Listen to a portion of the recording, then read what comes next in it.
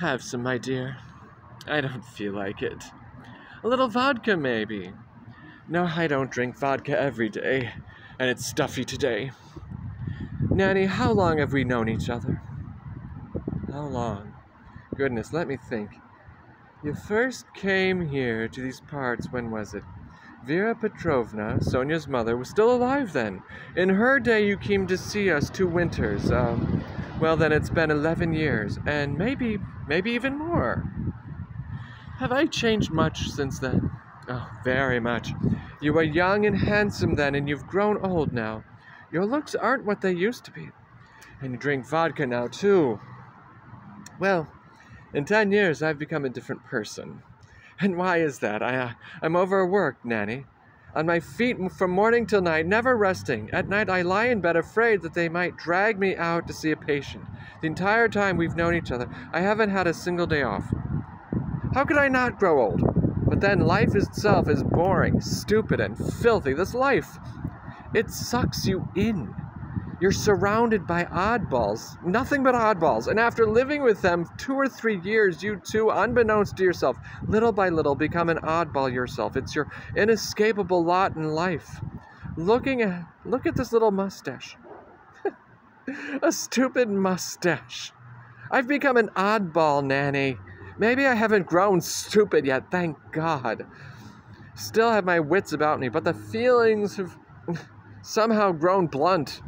I don't want anything. I don't need anything. I don't love anybody. Well, with the exception of you, of course. When I was little, I had a nanny like you. You want some something to eat, maybe? No. The third week of Lent, I went to Malitsko, uh, where the epidemic was. Spotted fever in the huts, peasants are side by side, all in a row. The filth, the stench, the smoke. The calves are on the floor next to the sick. And the pigs are there too. I plugged away all day without sitting down once, not a drop passed my lips. And when I got home, they won't let me rest either. They brought a switchman from the railroad. I put him on the table to operate, and he ups and dies under the chloroform. And when I need it least, pangs of conscience act up as if I had intentionally killed him. I sat down, closed my eyes like this, and I'm thinking, those who live a hundred or two hundred years after us, and for whom we're now paving the way, will they remember us kindly? No. Nanny, no, they won't. People won't, but God will. Thank you for that. Well said. Well. Well. Did you sleep well? Yes, very. Ever since the professor and his spouse came here, our life has jumped the track. I sleep at the wrong time, eat spicy food at breakfast and lunch, drink wine. That's not good. Before we didn't have a moment to spare. Sonia and I worked. My respects, but now Sonia works and all I do is sleep, eat, and drink. That's not good. Some customs. The professor gets up at noon, and the samovar's been boiling all morning, just waiting for him.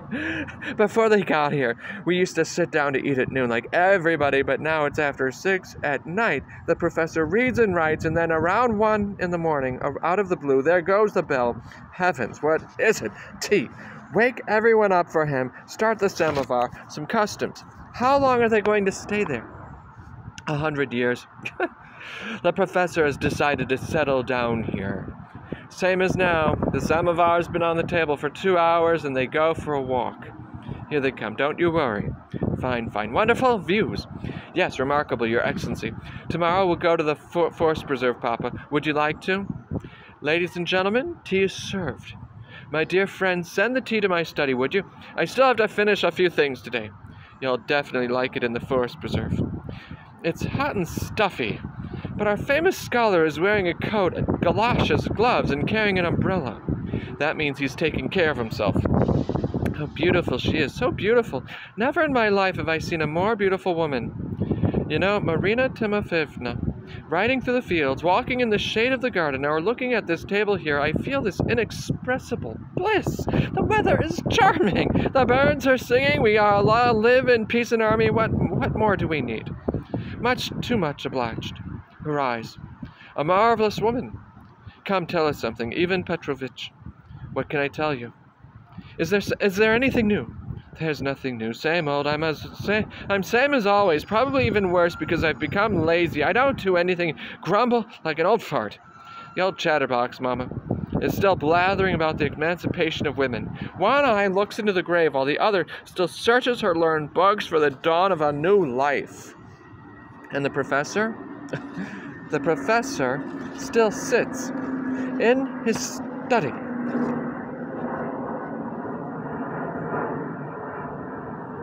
from morning till night, writing, with straining brain and furrowed brow. We write heroic odes nights and days, but neither we nor they receive the praise. Ugh, I feel pity for the paper he's writing on. He should do his autobiography instead. Now, now that's an extraordinary story.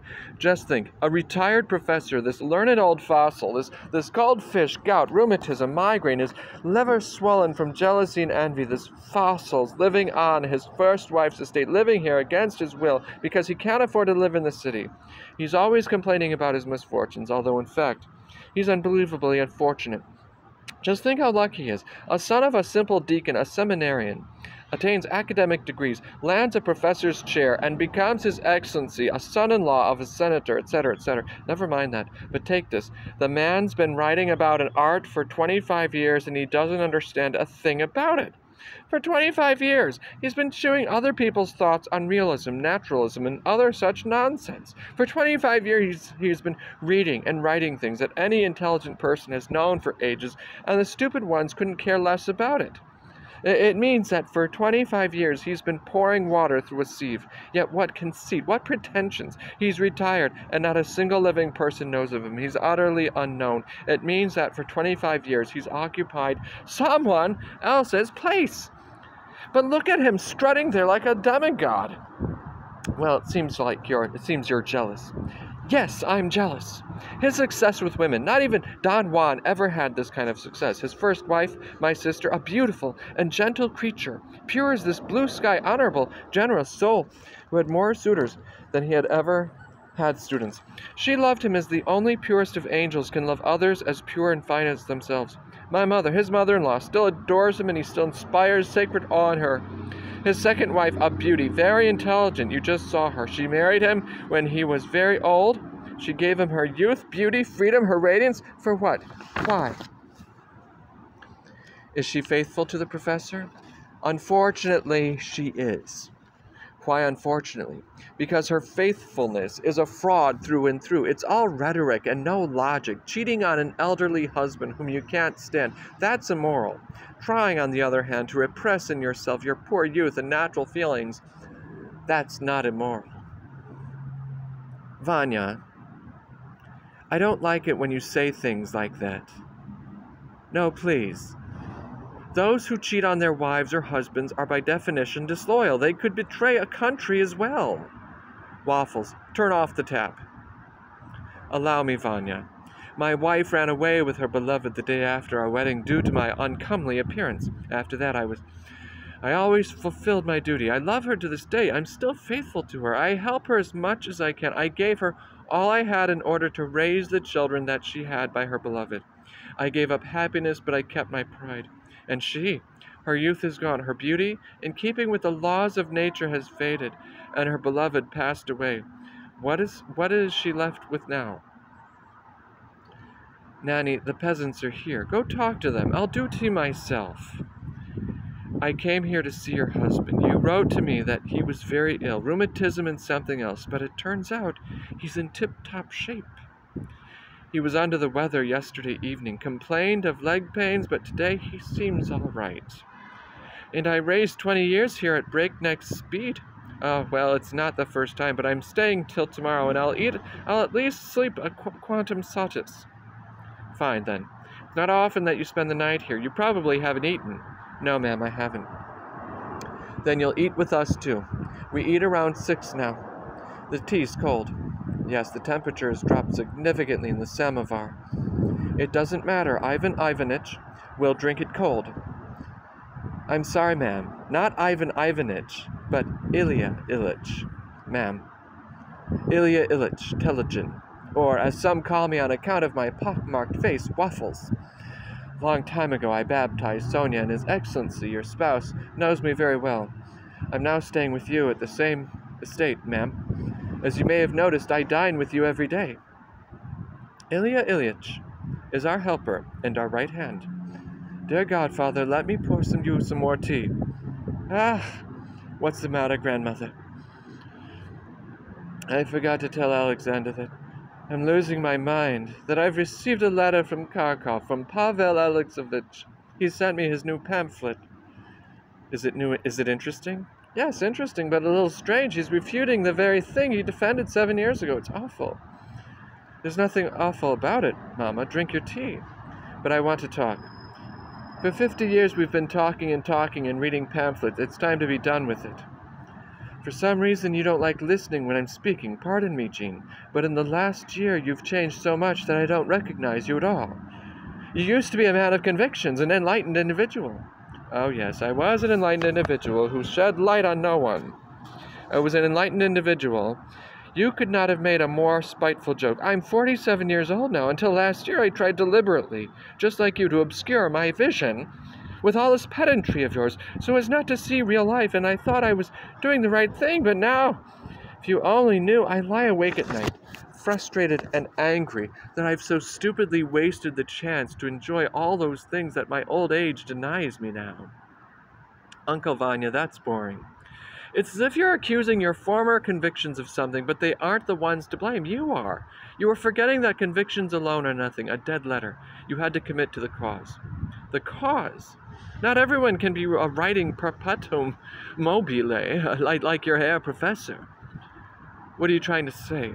Grandmother, Uncle Vanya, I entreat you. I'll be quiet, I'll be quiet, and I apologize. The weather is very good today. It's not hot. It's good weather to hang yourself. Chica, chica, chica. Nanny, what the, did the peasants want? It's the same old thing, same old thing. Still about the empty field. Chica, chica, chica. Who are you calling then? The speckled hen took off her little ones. I worry the crows might snatch them. Is the doctor here? This way, Mikhail. They've sent for you. From where? From the factory. Much obliged. Well, I have to go. Damn, what a shame. Yes, it's so unfortunate, really. After the factory, come eat with us. I'm afraid it'll be too late, too. Then, not likely. Not possible. Look here. Go get me, would you? A shot of vodka. Not likely. Not possible. There's a character in a play by Ostrovsky, a man with a long mustache and short wits. That's me. Goodbye, ladies and gentlemen. Should you decide to drop by my place with Sofia Alexandrovna here, I'll be most glad to see you. I have a puny little estate, less than 80 acres in all, but if you're interested, there's an excellent orchard and a forest nursery, the likes of which you couldn't find for a thousand miles around. Right next to me, there's a national forest preserve. The forest there is old and always sick, so I essentially take care of everything. I've already been told about your love of forests. You can, of course, do a great deal of good, but doesn't it get in the way of your true calling? After all, you're a doctor. God only knows what our true calling is. Is it interesting? Yes, it's very interesting. Very. You're still young. Just looking at you, you're you're 36 or 37, and it probably isn't as interesting as you claim. Forest and more forest. I think it's monotonous. Oh no, it's extraordinarily interesting every year, Mikhail Lvovich plants new forests, and he's already received a bronze medal and a diploma. He advocates the preservation of the old ones. If you only heard him speak, you'd agree with him entirely. He says that trees adorn the earth and that they teach people to understand beauty and instill a sense of pride in them. Forests help temper harsh climates. In countries where climate is milder, people struggle with nature less. And that's why man is milder and gentler there. There, the people are beautiful, adaptable, passionate. Their speech is elegant and their gestures are graceful. The arts and sciences flourish there. Their philosophy isn't dark, and women are treated there with elegant dignity. Bravo! Bravo! All that's very nice, but unconvincing. And so allow me, my friend, to continue to use firewood in the stove and build sheds out of wood.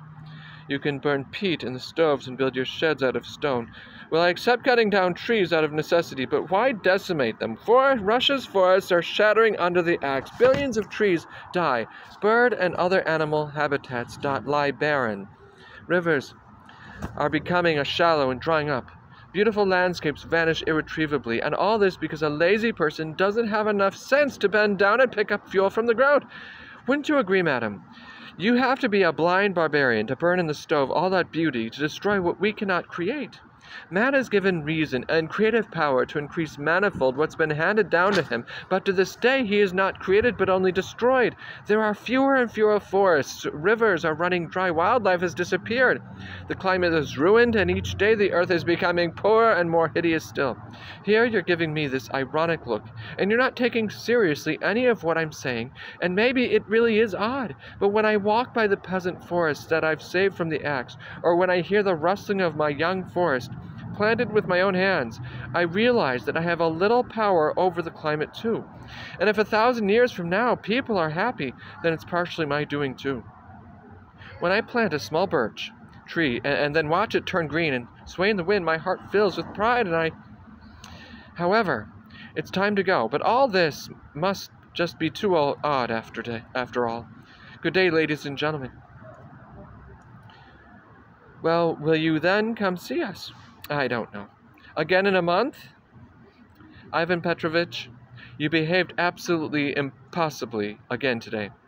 Why did you have to upset your mother and talk about perpetuum mobile? And today at breakfast you argued with Alexander again. This is all so petty. But what if I hate him? You have no reason to hate Alexander. He's just like everyone else, no worse than you. If you could only see your face, your movements, you're too lazy to live. Oh, this laziness. Ah, I'm lazy and bored too. Everybody criticizes my husband and looks at me with pity. Poor thing, her husband is old. This concern for me, oh, I understand it too well. It's what Astrov just said. You all are blindly destroying the forests, and soon there will be nothing left on earth. The same way you are blindly destroying people. And soon, thanks to you, there will be no loyalty, no purity, no capacity for self sacrifice. Why can't you look with equanimity at a woman who is not yours? Because, and the doctor's right there, the demon of destruction is inside all of you. You have no pity, no pity for forests or birds or women or one another. I don't like this philosophy. This doctor has a weary and anxious face, an interesting face. Sonia must like him. She's in love with him. And I understand her. He's been here three times already since I arrived, but I'm a little shy and I haven't yet a proper conversation with him. Haven't not have not been nice to him. He must think I'm that I'm mean. Most likely, Ivan Petrovich, the reason you and I are such good friends is that we're both tedious and boring people. Tedious. Don't look at me like that. I, I, I don't like it. How can I look at you any other way if I love you? You're my happiness, my life, my and my and my youth. I know my chances for reciprocity are measly, You're zero to one, equal to zero, but I don't need anything. Just let me look at you, hear your voice. Shh, they might overhear you. Just let me speak of my love for you. Don't shoo me away, and this alone will be the greatest happiness for me. This is unbearable.